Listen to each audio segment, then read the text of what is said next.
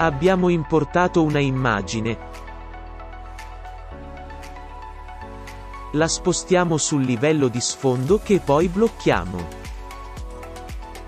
Zoom a schermo per lavorare più comodamente. Strumento penna. Cominciamo a disegnare la prima foglia. Vi ricordo che per incurvare un segmento selezionato, basta trascinarlo mentre si tengono premuti CTRL e ALT. Gli stessi tasti servono per estrarre una maniglia da un punto selezionato. Mentre si trascina con lo strumento penna, si può tenere premuto Alt per muovere individualmente la maniglia in uscita, oppure CTRL per spostare il punto senza interrompere il tracciamento.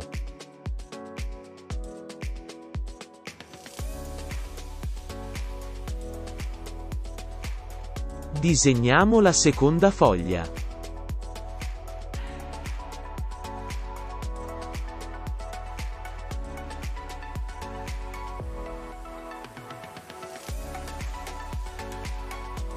Preciso che CTRL serve soprattutto per usare temporaneamente lo strumento puntatore senza dover andare a cliccarlo.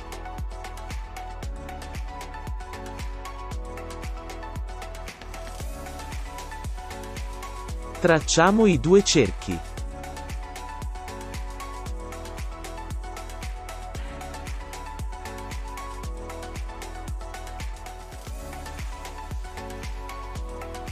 Non dimentichiamo di salvare il file, ogni tanto.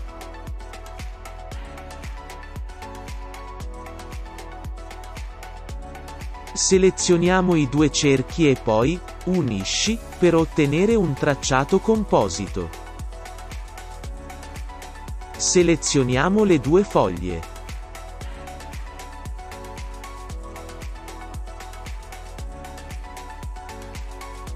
Cloniamo e espandiamo il tratto fino a ottenere una forma da usare per ritagliare il tracciato composito creato poco fa. Selezioniamo ambedue e poi clic sul pulsante ritaglio interno. Disegniamo adesso la forma a mezzaluna per l'ultimo ritaglio. Usiamo la solita combinazione di tasti per incurvare a piacimento i lati del triangolo.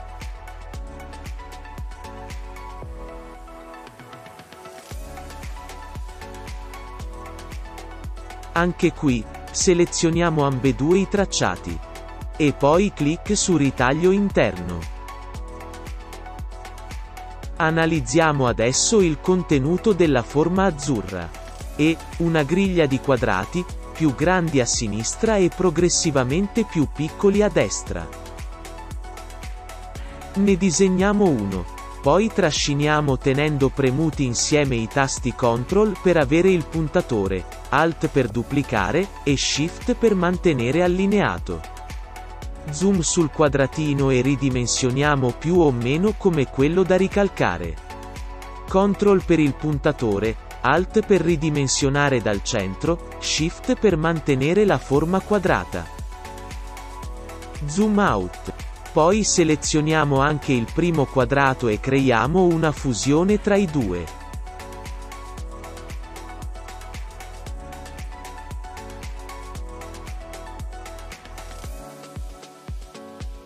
Impostiamo 8 passaggi.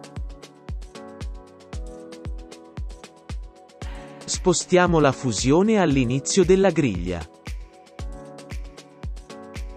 Poi trasciniamo con Alt per duplicare, e Shift per mantenere allineato lo spostamento. Dopo il primo duplicato, basta usare Ctrl Alt D per le copie successive. Spostiamo verticalmente l'ultima copia. Poi apriamo la finestra di allineamento, selezioniamo tutte le fusioni e selezioniamo il comando Distribuisci centri, in verticale, quindi clic su Applica. Senza deselezionare, spostiamo le fusioni con Alt per duplicare. Sistemiamo la copia sfasata per completare la griglia. Zoom out. Selezioniamo tutte le fusioni. Deselezioniamo i due tracciati che non ci interessano. Separiamo due volte per ottenere singoli tracciati,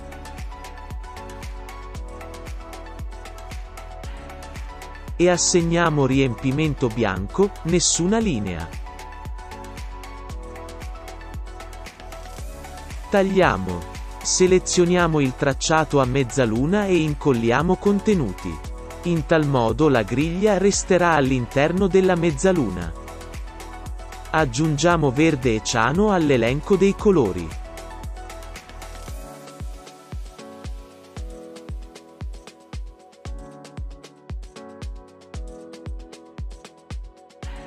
Assegniamoli ai tre tracciati.